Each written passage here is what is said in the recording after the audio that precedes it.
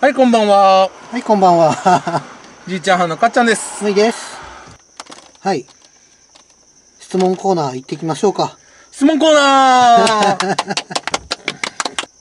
むいくん、はじめまして。私はかっちゃんさんの霊能力に驚きと尊敬の気持ちを持っています。いや、そんなことないですよ。大したことじゃないです。誰でもできることです。大したことないですよ、本当に。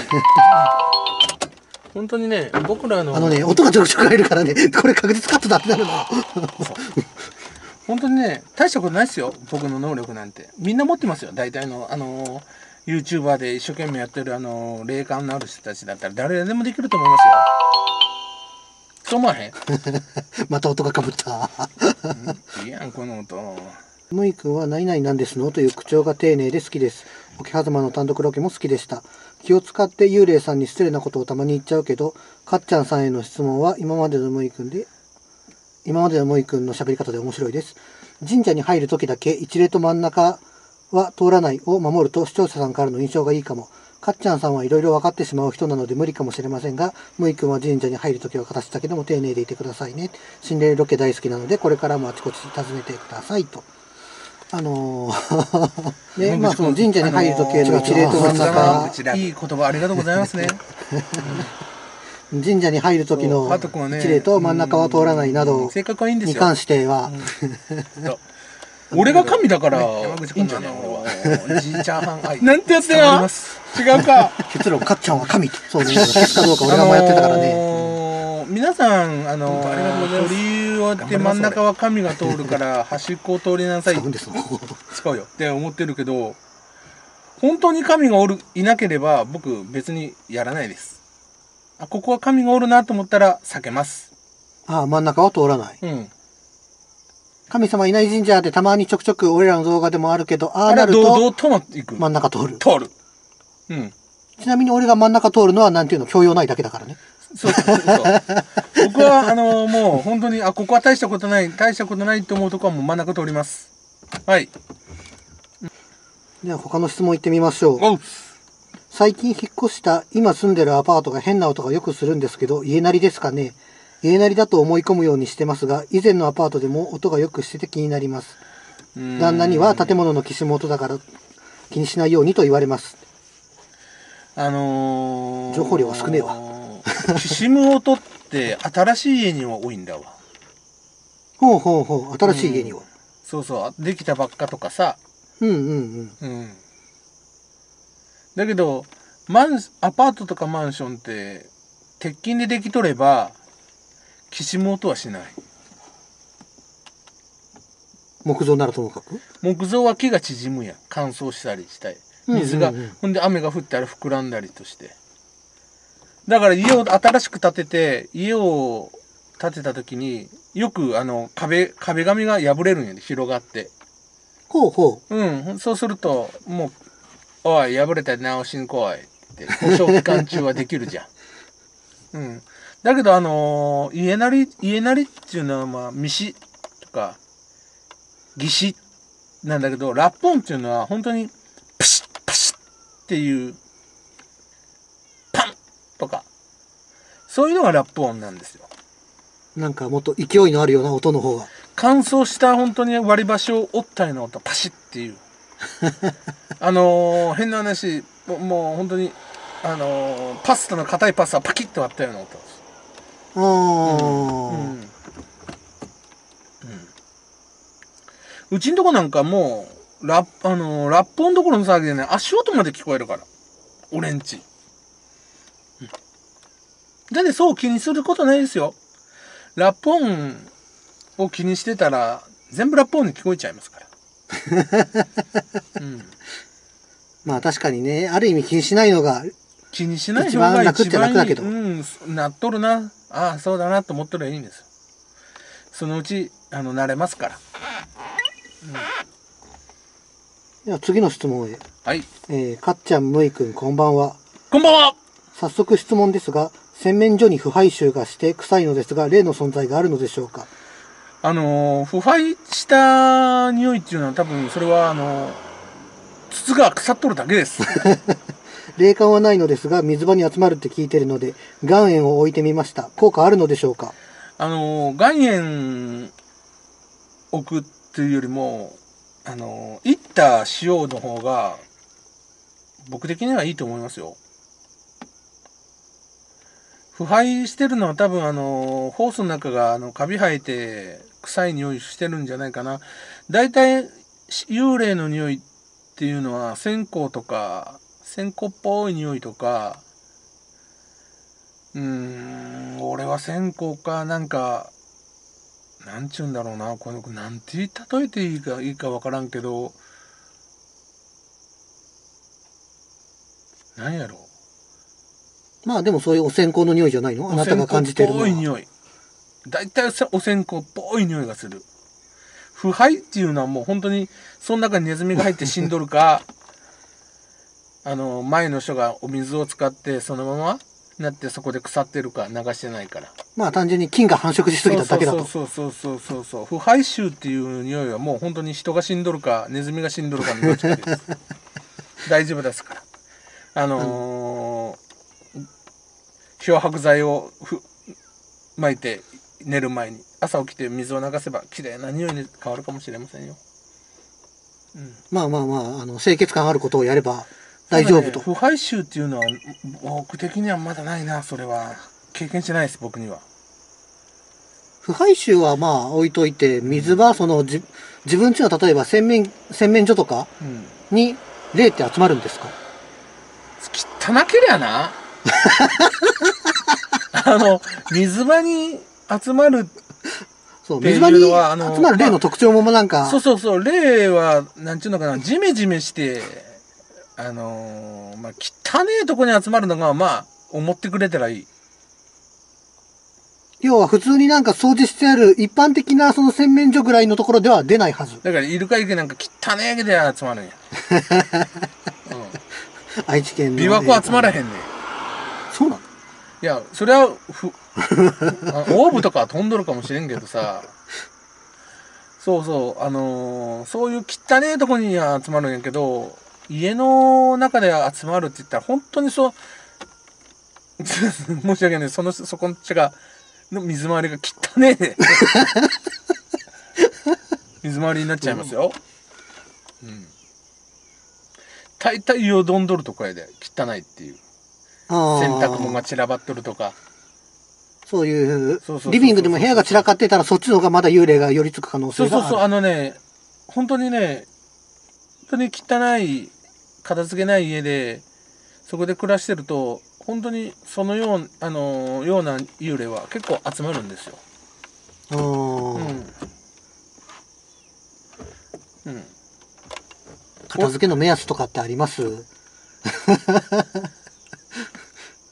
本当になんか、廃、なんていうの、あの、廃墟みたいなぐらいにまで散らからないとダメな話？いや、そ、いやいやいやいやいや、もう本当に人が見て汚ねえなと思うのがへ、でもう来るんじゃない？あドアガチャッと開けて汚ねって思ったらもうアウト。うん。割との人はアウトじゃない？俺んちも汚ねえしな。だから俺んち結構いるんですよ、お化け。本当に。うん。話し声は聞こえるし、寝とるとガラス窓の向こうから、まあ、すっごい眩しい光を当てて当ててくれるし。うん。この前なんか、あれだよ。俺の知り合いが、窓に置いといたし塩とか、うん落ちてもベッドの上に落ちてきたっていう。危な。あ落ちるはずもないものが落ちてきたとか。除霊しなされ。除霊しなされ。条例しとるんやけどな、俺。新しいやつがまた同じことをやらかす。別の人が。いや、そういうものが落ちるって、もう俺、僕んちも娘おるけどもう慣れっこじゃん。そんなもんでいちいち電話してくんなって思うやん、俺。物が落ちるなんて。でしょ僕、僕もね、この、このあの、あれなんですけどね、ねってあれ、ケトルか？まあ、お湯沸かすやつ？そうそう。ケトル？はいお湯沸かすケトルがあるんですよ。で、いつもケトルは机の上に置いテーブルの上に置いて、あなたにもら借りてもらったちっちゃいテーブル。はいはいはいはいはい。最近ここで使ってないやつ。うん。あれを使ってるんですけど、あそこに置いといたんですよ。うんで、娘と、ココアの飲もうって言ってココアを取りに行って娘が台所まで行ってで水と置いてやったらそのスイッチがパチッパチッって上がったの上がったり下がったりする。幽霊が何これって遊んどるような状態。目の前で何もないほんいや娘は娘はねいや線が触ったんやってって言うんやけど線が触ってないねん。線は上がったら下げないねん。確かに。なぜか知らんけど2回パチッ電気がついてパチッて消えて。またパチッて電気がついてパチッて消える、おっと、なんか科学的に証明しづらいことが起き始めたぞって。なんだろう。覚えたな？つってケトルの使い方覚えてまったな？と思って。でも水入れろよ？と思ったもん俺。危な火事になるやうす飲めんかったなココアが。そんな現象うちたくさんあるんですよ。本当に。え、その飲めんかったのは単純にもうなんかそういうテンションじゃなくなったっていう話？いや飲んだよ最後は飲むの？当たり前やん。そんなこと気にしとったら俺んち生きていけねんもんあそこで。あなたはそういう幽霊からの嫌がらせで何か作業を中断した的な話ないの？嫌がらせしたやつは俺が体に入れて消去するもん。うわぁ。ん有効的じゃないやつは全部消去やもん俺。あー、プーチンって呼んで。使いづらいな。そう。え、そのパチパチってやったやつぐらいだったらまだ全然セーフ。可愛いじゃんなんか だってケトルのスイッチが何もなくパチッパチッパチッって上がったり下がったりなんてお前見た見れんだろ。一生涯で。絶対見えんぞあんなもん。まあね。だろう。すげえいい経験させてもらっちゃったわ僕。本当に。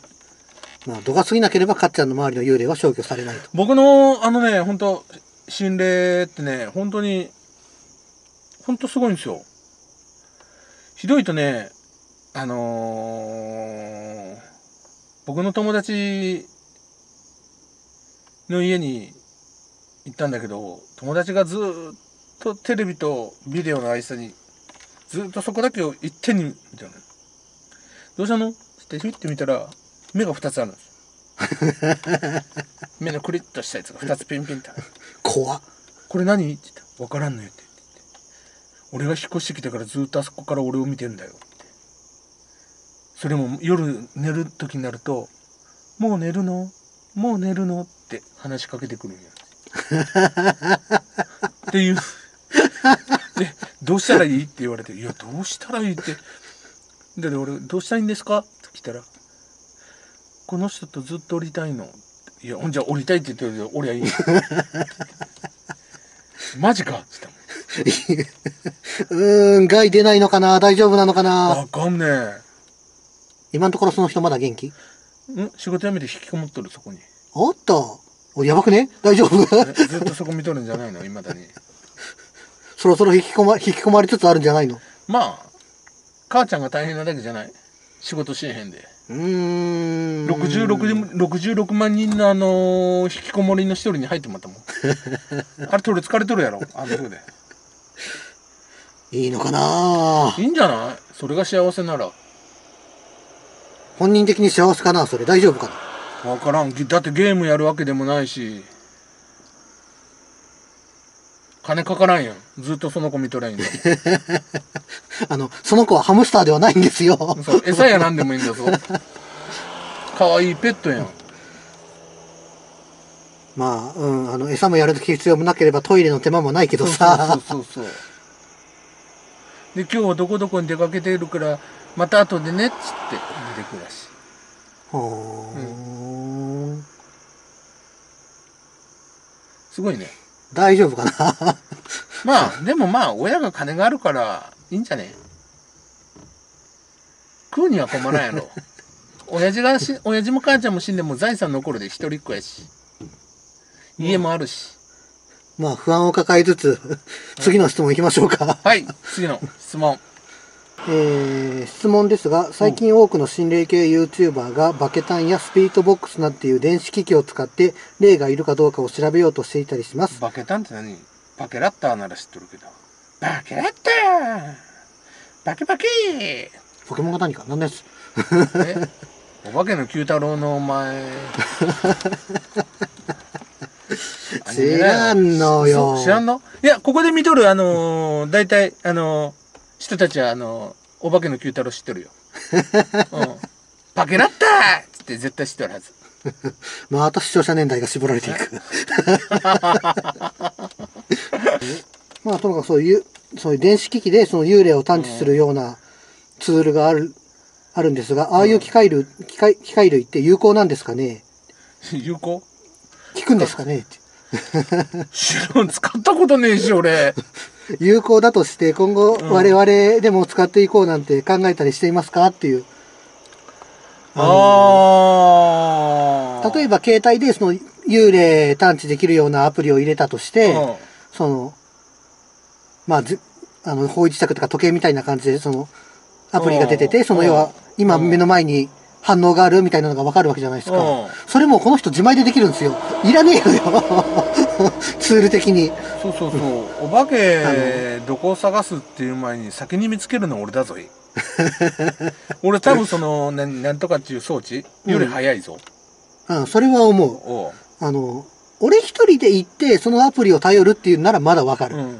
それか俺が全然オフにして、それを頼ってあなたが行く。同じ用意ドンで行って、そ、そっちに反応する方行くやん。うん。それは俺と一緒に行けば合ってるわけじゃん。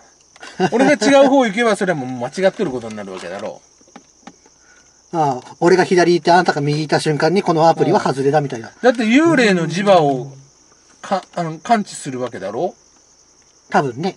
どんな仕組みかはわからないけれど。うん。幽霊の発する磁場なんか絶対拾えんはずやで。携帯とかそういうアプリで？ん？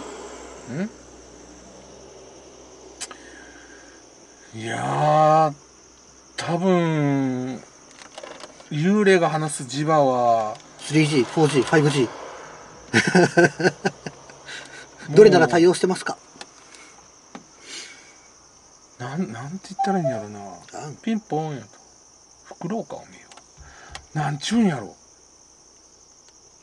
モスキートーンよりも聞こえづらいやつやないか。取りづらい。もっと下の方の磁場じゃない？そういうと思ってる。俺は。僕も幽霊をどう探すかっていうのは、本当にその幽霊の微量なあのマイナス、マイナスイオンじゃないけどさ、そのよどんだ空気の中から見るのよ。要は変な話現在と幽霊の間間に顔半分入れてる状態だと思ってくれればいいんです僕の場合は。うんうんうん。うん。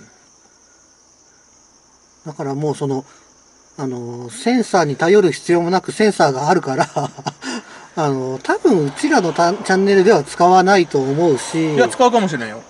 安いの？高いの？アプリは無料で手に入るっちゃ入る。けど、あの、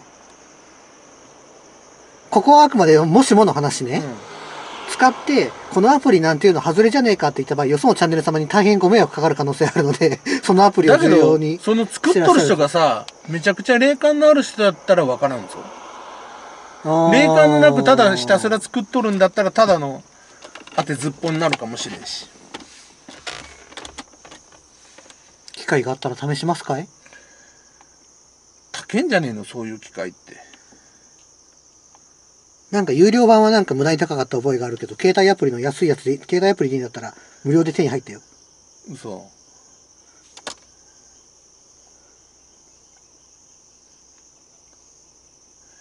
まあ、あのー機会があれば、あのムイ君が試します。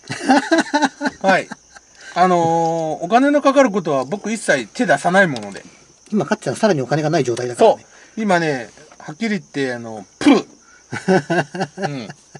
ふうっていうかその、今やりたいことがあってそっちにお金注いでる最中だから、僕今ちょっとね、最近、うん、やりたいことができちゃって、その、せっかく来た、スモールウェーブに乗って、ビッグウェーブにな乗り乗りたいもんで、今必死なんですよ。だからね、お金のかかることは全部あの、お金のかかるあのー質問は 全部ムイ君に投げてください、皆さん。お金のかからない方は僕でやりますから。はい。それだけ皆さん、あのーお願いします。お金のかかる企画お金のかかる企画はムイク。これだけは言ってきますよ。うん。山口さん頼むね。多分お金払うからあれよ。あの、あなたも来いっていうことになるだけよ。そうそうそうそう、お金をこれで買いましたからって言って、で、僕ついていくだけやから。まあ今までもそんなこと何回かあるしね。もう本当に皆さん、そうしちゃってください。お金のかからない方はいつでも来てください。では次の、えー、質問というかこれの場合リクエストなのですが、リクエストだよ、涙の。はい。行ってほしい場所とかは特にないですが、食レポをまた見たいです。食レポなあ本当によ あのー、こ食レポまた見たいです。何かやる予定はございますかね？てかなんか、こんなのやりたいとかも？、あのーさっきも言ったように、お金のかかるものは全部ムイ君。ムイ君に頼んでください。うん。ああ、こんな商僕は一品出ました切お。金使わないですから。僕が使うのは利益だけですから。ああ、こんな商品出たのでレビューしてください的なのを全部そうそうそうそう。無に流してこいとうん。お金のかかるのは全部こっちに ぶん投げてください。はい、じゃあ次の質問いきましょうか。なんで？普通じゃん。なんていうか、聞くだけ聞いてあげなさいよ。あなたに対する意見かもしれないんだ。だって僕のね、食レポって本当に、あのー、心霊話すより難しいもん。まずいしかないもん。実ってまあもう。